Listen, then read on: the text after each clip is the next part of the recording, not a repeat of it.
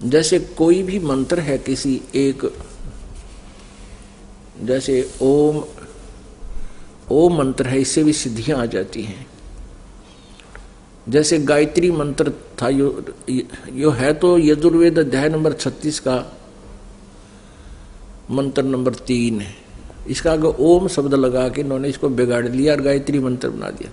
यदि इस एक मंत्र का जाप बार बार करते रहोगे, इससे भी कुछ सिद्धियाँ आ जाती हैं, मोक्ष नहीं होता।